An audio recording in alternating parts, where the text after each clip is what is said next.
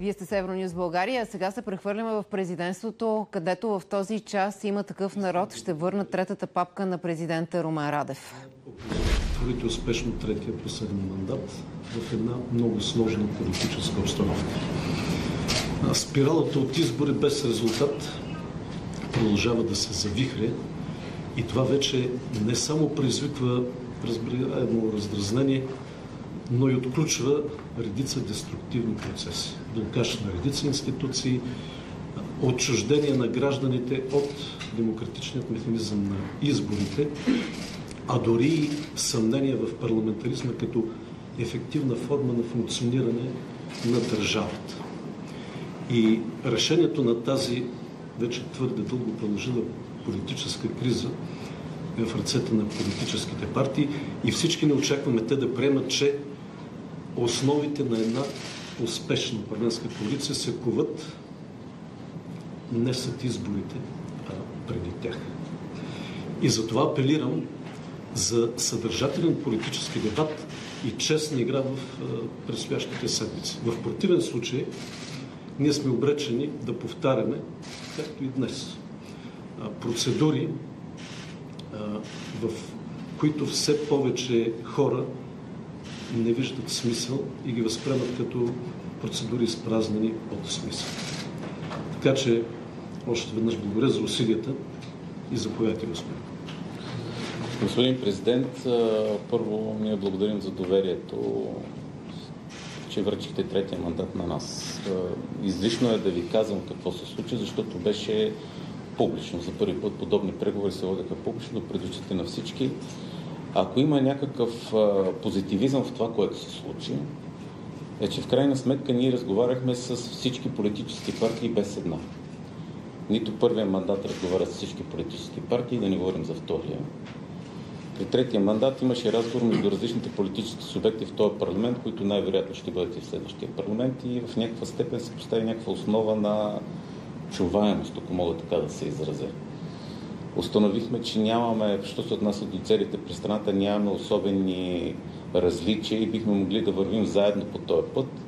Разбира се, политическата мъдрост не достигна в една партия да, да вземе в момента решение, но може би, ако гледаме позитивно, това е една добра основа следващия път да не се да не изпаднем в същата ситуация. Какво ще се случи, времето ще покаже.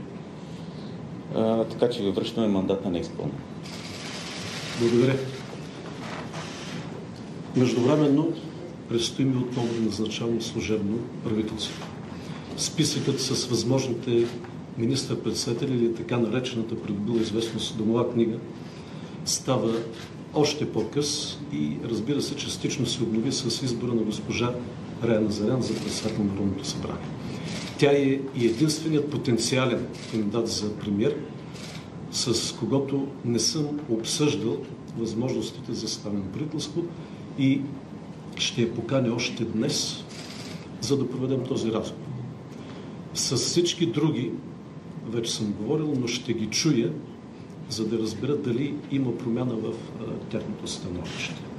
Помните, че те категорично отказаха да поемат поста министр-председател. И държа също така да отбележа, че ще продължавам стриктно да се придържам към повелите на Конституцията, но и напомням, че последните промени драстично ограничиха периметърът на действие.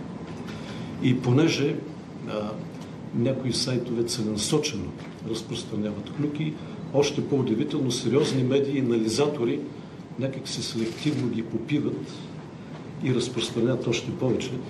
А, искам да използвам случай да ви питам и да ви помоля да дадете така повече информация дали представител на президентската институция е участвал на ваши сбирки партийни, на сбирки с други партии? Не. То няма как и да... Аз дори си знам, че някой е казал нещо подобно. Поне на срещи с други политически лидери или представители, никой не е присъствал, на които ние сме били.